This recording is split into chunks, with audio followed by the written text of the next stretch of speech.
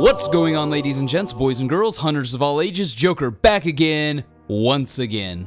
And today, today I bring you a game that will forever change the gaming landscape. For they have the audacity to ship a game ripe for loot box exploitation without loot boxes. In a day and age where these predatory gambling microtransactions are everywhere, when developers say that games just don't make enough money without manipulating the easily addicted nature of the human psyche.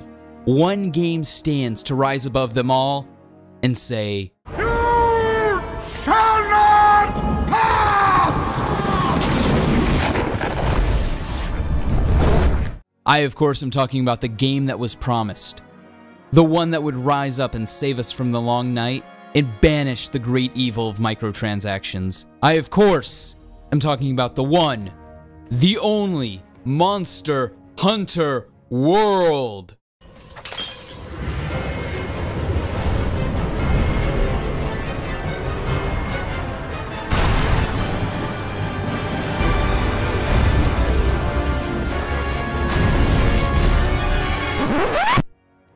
Joker, yes, Joker. What? What did I tell you about all this hype bullshit?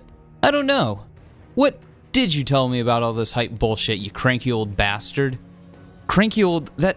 We're, we're the same person, you know? Just from different timelines and parallel dimensions. You know what? Never mind. I'm assuming direct control of this video. We don't need this hype train bullshit around here. We look at the facts, we look at the data available, and we determine if a game is worthy of our time, our money, and our viewers' time and money. I mean, come on. You really don't want to start sounding like that other guy, do you? Everybody who thinks Destiny 2 should have been good out of the gate, well, I don't give a flying fuck what your opinion is. I'm having an amazing time playing Destiny 2, and it will get better from paid DLC to paid DLC. You're just too ignorant to understand. Huh. You may have a point. Anyways, I thought all we did was just bitch about Destiny 2 for that sweet, sweet ad revenue. You mean the whole 20 bucks I made for 6 hours of my life in the last video? I'm not saying worst trade ever. I'm just saying. Anyways, uh, that's that's irrelevant. You and I both know. I and you both, we both know. This is going to be confusing, isn't it? Anyways, we both know that we don't bitch about Destiny because it pays the bills. We bitch about it because we want the game to be good. Yeah, I know. That's why I'm making a Monster Hunter video. It's a massive looking open world game that you can go in and you can kill these giant monsters and you can loot them and you can get their parts and then you can make cool shit out of them and you can wear their like asses as hats or something. I I, I don't know.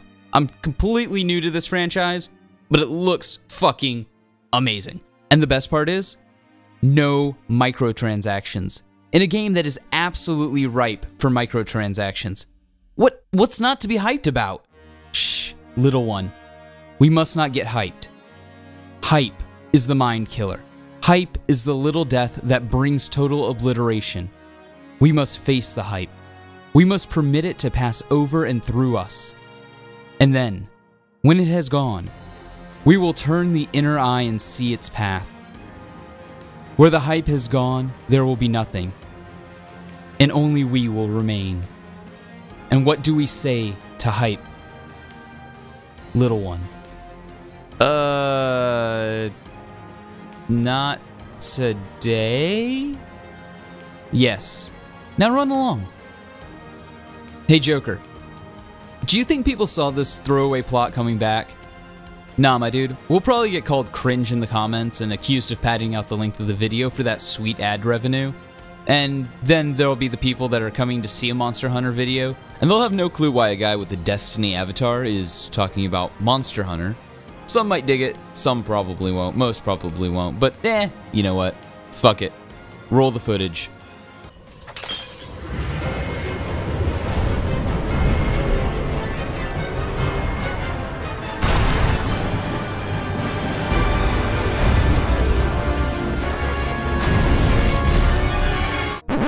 So, um, this is kind of awkward. So the wonderful people at Capcom have decided that, uh, I can't show the teaser for Monster Hunter Worlds in my video about Monster Hunter Worlds. So, yeah, there'll be a link in the description below if you want to go ahead and check that out. But uh, without further ado, here's the rest of the video. What's going on, ladies and gents, boys and girls, hunters of all ages? The real Joker back again, once again. So, I'm not gonna lie. I am a complete nutter Monster Hunter noob. Hell, much to my disgrace to admit, the game wasn't even anywhere on my radar for the longest time. That was until an interview with Trusted Review caught my eye. The series producer had this to say about microtransactions. This is a co-op game, and you're going out in up to four people parties. The idea is that there's a harmony in the four players going out, and you're going to get on well together. If you feel somebody hasn't earned what they've got, or they've got better weapons just because they paid for it, and you've worked for yours, that creates friction. Even in a co op game, where it's not pay to win because we're all on the same team, it's like you didn't earn that. Or you've got it and you don't know how to use it. We don't want that for Monster Hunter. There are absolutely no plans.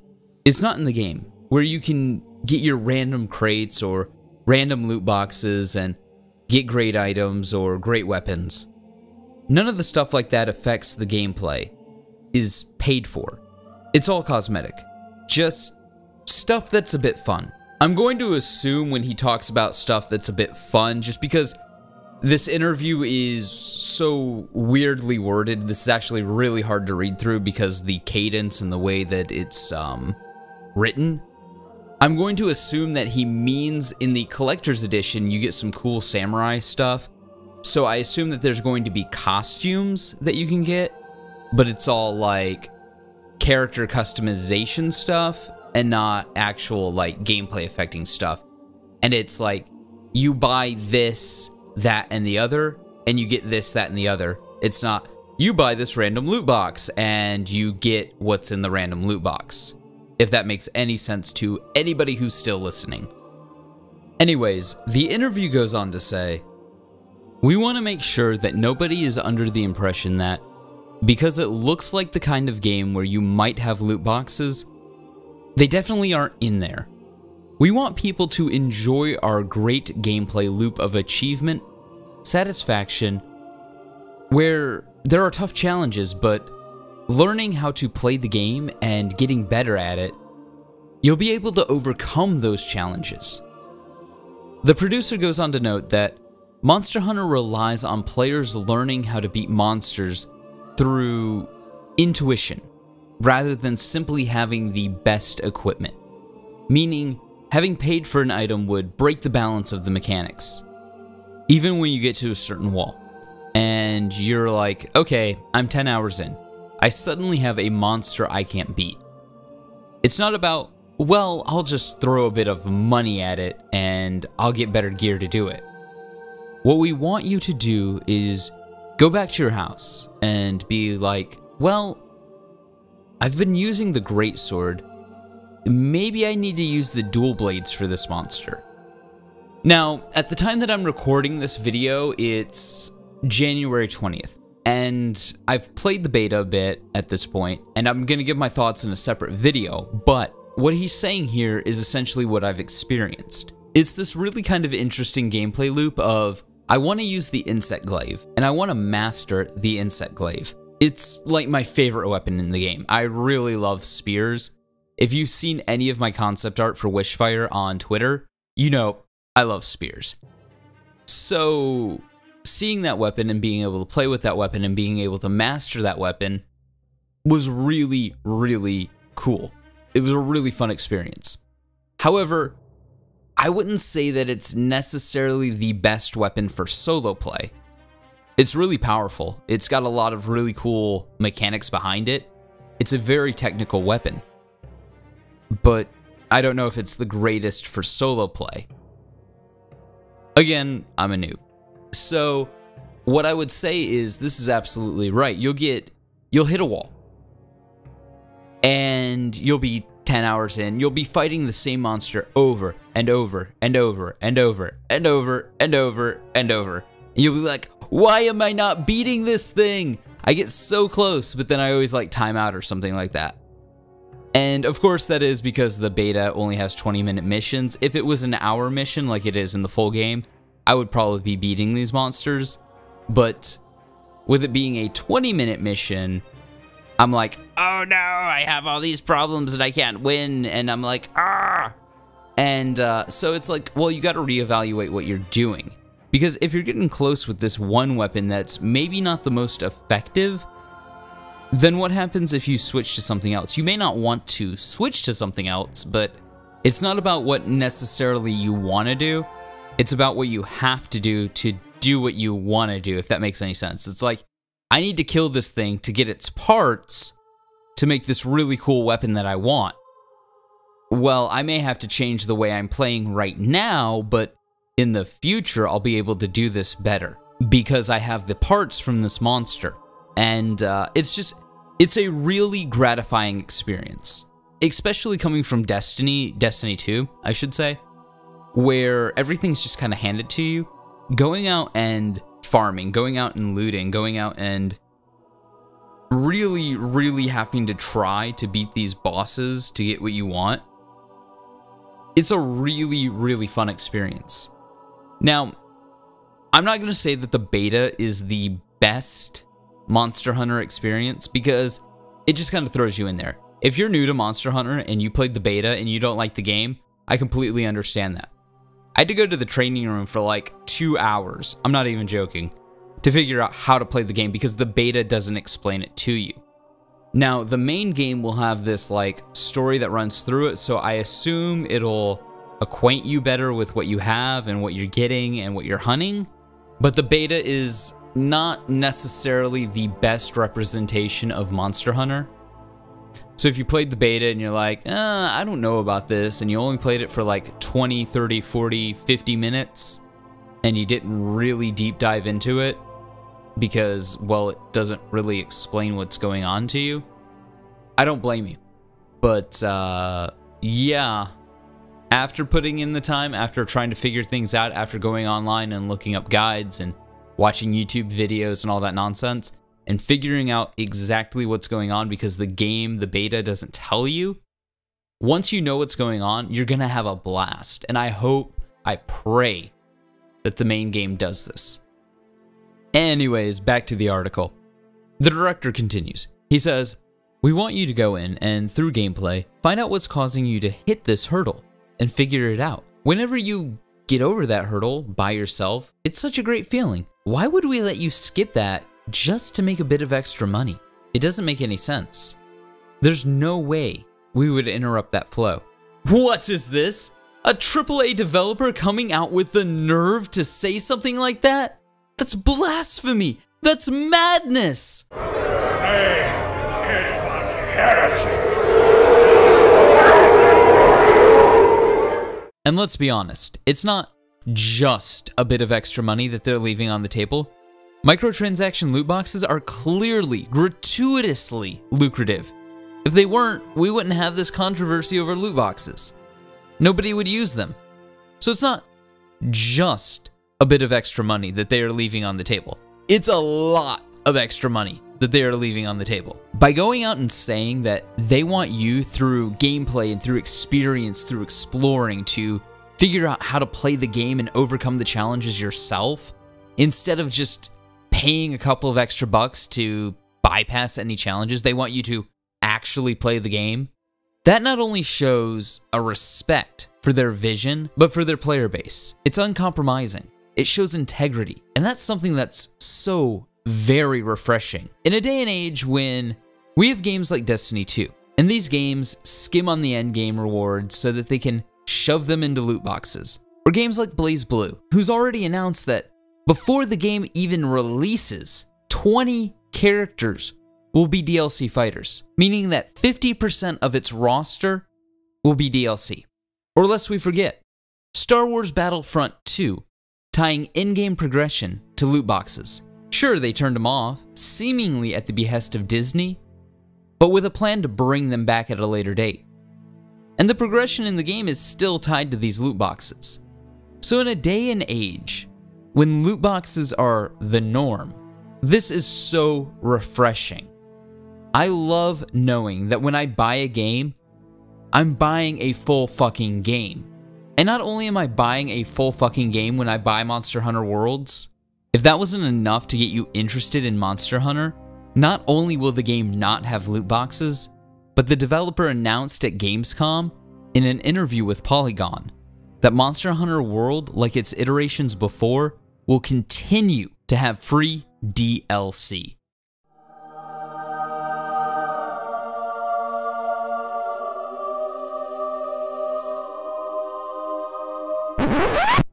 No, no, no, no, no, no, no, none of that hype. Just because something sounds like a good deal on paper doesn't mean it will be a good game. It doesn't mean that it'll ship at 100%. It doesn't mean that it won't be buggy as fuck or have a weak story or any of that other nonsense that we have come to expect with games. All of that said, this was definitely more than enough to get Monster Hunter Worlds on my need to research more about this game list, which currently starts with Monster Hunter and goes around the block about twice.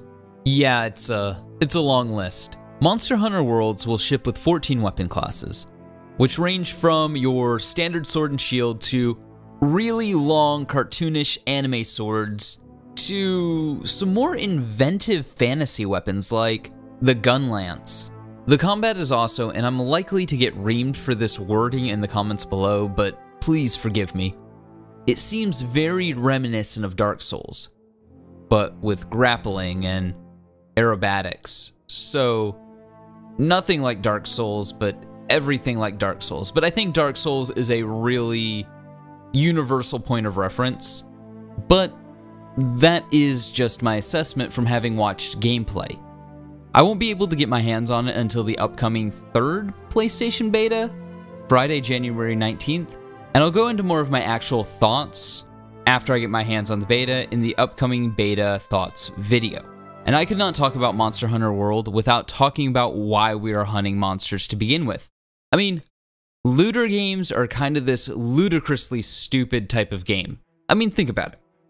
There's no real story there's no real point in it, right? We're just going around killing things repetitively over and over and over and over just so that we can get better gear to go kill the same things over and over and over and over just so we can get even better gear to go kill the same things over and over and over and over again. It's this kind of absurd, simplistic, but gratifying gameplay loop. So the game is clearly built around hunting monsters. I mean, it's almost like it's in the title. And once you hunt these monsters, and you loot their bodies, and you get pieces of their bodies that have different rarities, though, uh, not quite sure why that is. I mean, if I kill the monster, and the monster's sitting right there, why can't I just harvest all the pieces? Why would one version of this monster have a legendary piece and another version of the monster not have the piece at all? But I digress. I mean, it is a looter, and looters are kind of nonsensical by nature. So, killing these monsters and gathering their parts and crafting new weapons and armor is the way that you further character progression. Now, again, being a Monster Hunter noob, my hope is that Weapons and gear that I craft are representative of what I've crafted them from. And not like other games with crafting systems that say, hey, go out and collect 3 dragon sphincters, 23 dragon left eyes, 5 great dragon horns, 37 incisors, 3 French hens, 2 turtle doves, and a bottle of whiskey. And then you take all these nonsensical ingredients and you melt them down and you throw them into a pot and then you stir and you stir and you stir and then poof, out pops a great sword. I mean, like, really? So I, I, I hope it's not anything like ridiculous like that. I really do hope it's indicative of what I've hunted and what I've quested for and it's like uh, yeah, you know what? When somebody sees me, when they look at me, They know what I had to do for that gear. But moving forward, there is a type of alien majesty to the world of Monster Hunter Worlds. Many of the locations and creatures therein give off this stranger in a strange land feeling. Seeing this pink and bleached coral forest for the first time drew this sense of awe-inspiring wonder. There's strange plants, odd creatures, particulate in the air. This is the sort of alien majesty that games like Destiny, with its devoid of life boxed in circles, don't even come close to. There's a real magic here. And there's a care given to the various play spaces, to the various monsters, to everything that I've seen thus far that show a real artistry for the craft. It's all grabbing and engaging, and I can't wait to explore them further. Until I get my hands on the game, I can't say whether I recommend it or not. I wouldn't say if I recommended it or not until I've actually played it. Even given the high praise that I've just showered it in. Likely causing many of you to wonder what channel you're even on.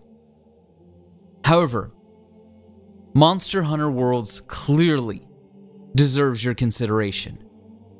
Everything, from the game developer's attitude, to the customization, to the majesty of the worlds, to the awe of watching two or three big ass dragons grapple with one another.